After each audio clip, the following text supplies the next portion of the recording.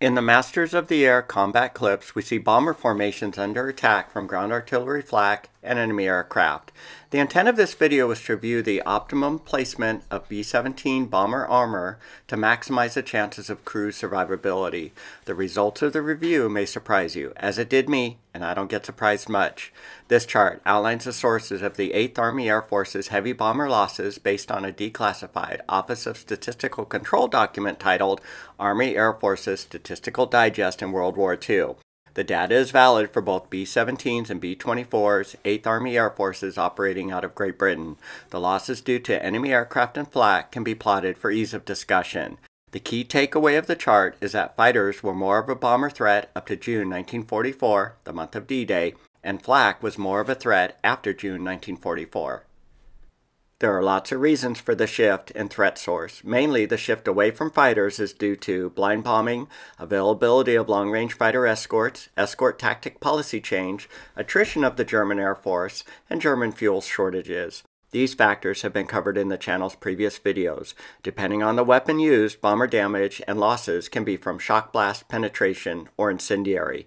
Penetration damage can come from projectile fragmentation and splinters or bullets. Some weapons will combine the damage source, like armor-piercing incendiary bullets. To maximize bomber survivability, bombers were designed with armor, mostly in positions to protect crew members and vital systems from flak fragments, bullets, and 20mm splinter projectiles. This image from a 1945 B-29 flight and operational manual outlines the armor panels and transparencies of the B-29 bomber. Most of the armor protection is centered around the crew members and the central fire control system.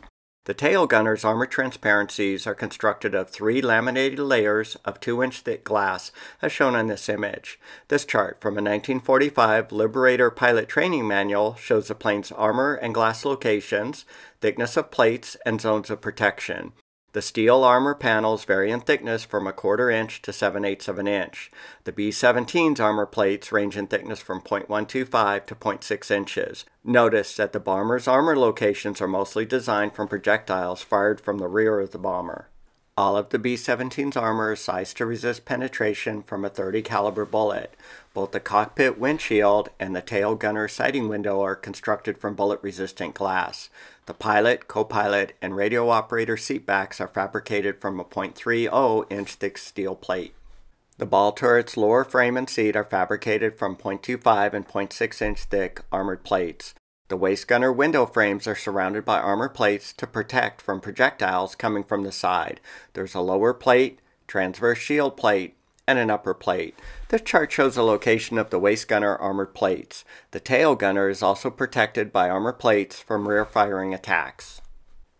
This page outlines a study that was conducted by the 8th U.S. Army Air Forces outlining combat lessons learned from an August 1944 Commanding General 20th Air Force's document titled Combat Losses and Damage in the 8th Air Force. The purpose of the document was for the 8th Army Air Forces to share their two years of bomber combat experiences and lessons learned with the 20th Air Forces who were just starting their bombing campaign against Japan. The scope of the study was to analyze the causes of bomber losses and damage with the intent to make recommendations to bomber hardware and tactics to reduce losses and damage, evaluate and weigh the recommended changes with regard to cost and combat effectiveness, Details of the damage sustained by returning bombers was documented. The data tabulated included location, direction, cause, and severity of hit. The holes on every returning bombers were assessed, reflecting some 25,000 bomber evaluations. To minimize survivor bias, interviews were conducted with crews whose bombers were lost over occupied Europe. These interviews were crew members who were either repatriated or escaped POWs. They provided data on the circumstances of their lost bomber. Other attempts to account for survivor bias by relying on eyewitness accounts from other bombers in the formations were deemed unreliable. They tended to grossly underestimate the effect of flak on falling out of formation and becoming a straggler. Over 800 of these types of interviews were conducted to get a full picture on the cause of bomber loss.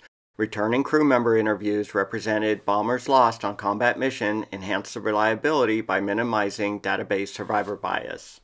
The findings of the study include flak by far causes most bomber damage. Flak gunners do not aim at individual aircraft. They aim for the projectile to detonate in the center of the formation. You would expect an even distribution of flak damage based on the bomber's exposed projected areas.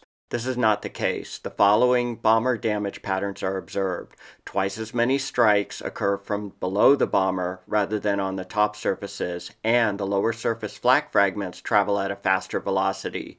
Bomber armor would be more effective if placed on the floor of the bomber. Based on this data, the waist gun station side armor was ill advised hits from flak, spent bullets, shell casings, and links strike the front of the bomber more than any other location. The bomber's front facing surfaces were damaged well beyond in proportion to its exposed area. If you add the damage from head on attacking enemy aircraft, it becomes clear that key personnel and systems should be placed in the rear of the bomber, and armor protection should be concentrated at the front of the bomber, protecting vital crew members and systems. An evaluation of 3,000 enemy aircraft machine gun and cannon hits lead to the following conclusions. The distribution of enemy aircraft gun and cannon fire is evenly distributed over the bomber relative to the area of exposure. There was no clustering of hits on the fuselage or wing root area.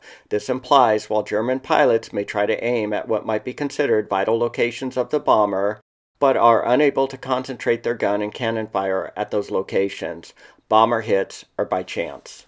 Based on the results of the bomber damage and loss evaluation, where survivor bias has been taken into account, several lessons emerge for the 21st Army Air Forces to consider. The B 17's greatest vulnerability to enemy gun and cannon fire is the bomber's engines. Over 50% of bombers lost were stragglers, mostly due to engines knocked out. 75% of bombers lost had one or more engine out. Much of the engine combat damage could, been, could have been mitigated by adding engine armor. To save bomber crew lives, you need to reduce stragglers. Therefore, it makes more sense to allocate armor protection to the engines rather than to the crew stations. Shifting armor from crew stations to engines would need to take into account the effect this would have on crew morale, though. So instead of bomber armor at these locations, the bomber should be armored like this, as this would likely save more lives. When enemy aircraft attacks are heavy, two thirds of bombers that were lost had fires. Fire and fear of explosion were the primary reasons for bailouts. This premise is reinforced on this chart from a 1945 Army Air Forces Board report titled Parachute Questionnaire Project, where the Air Force surveyed flyers who bailed out. 838 B 17 crew members who bailed out were questioned. 43.8% jumped because of fire, 6.6% engine failure, 7.8% flak, 17% fire damage, 16.8% pilot order, and 8% other. 50% of bomber fires start in the engine nacelles. This is due to fire starting in this area and the fire spreading to the wing tanks, which lead to an explosion. A more effective fire extinguishing system would help mitigate nacelle fires. Engine armor, which would reduce stragglers and losses, would also contribute to mitigating fires. Interesting to note that the heavily armed YB-40 bomber escort concept did include engine armor, as discussed on this YB-40 configuration memo. The engines were shielded by 687 pounds of armor out of the 2,154 pounds of armor total. In February 1944, General Arnold requested that General Spaatz investigate the YB-40 engine armor requirements likely to include adaptation to the B-17s in service.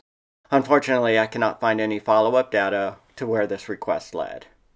In summary, the B-17's armor locations were selected based on crew protection from aircraft attacking mainly from the rear or sides, to protect the crew, armor should be placed accounting for projectiles originating from the front and below the bomber, or better yet, expend the armor weight penalty on engine protection only. This will minimize both stragglers and or engine fire, increasing the likelihood of bombers staying in formation and crew survival. Did any of the study findings surprise you? If you found this bomber armor location study review informative, please consider liking, commenting, and or subscribing to the channel World War II U.S. Bombers.